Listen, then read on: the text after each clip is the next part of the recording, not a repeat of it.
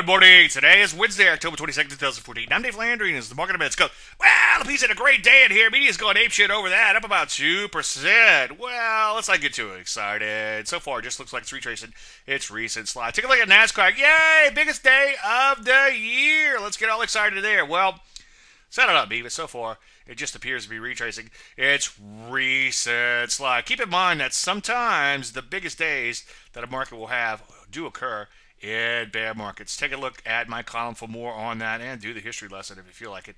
Sell. Take a look at the Rusty, push it into this overhead supply. I think it's going to have a hard time getting through it. So why am I still kind of bearish in here? Well, just look at some of these random sectors. As you can see, most still remain in serious downtrends and so far have only pulled back. So I think the damage has been done. Just make sure you wait for entries and, of course, honor your stops.